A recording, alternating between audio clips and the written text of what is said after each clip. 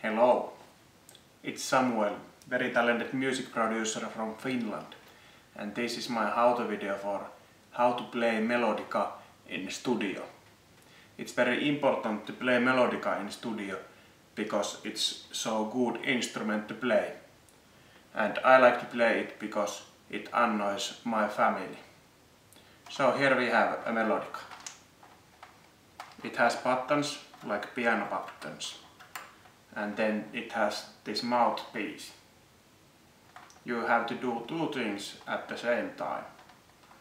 You blow some air into the mouthpiece and you push some buttons. And it sounds like this. So that's how you play melodica in the studio. Bye bye.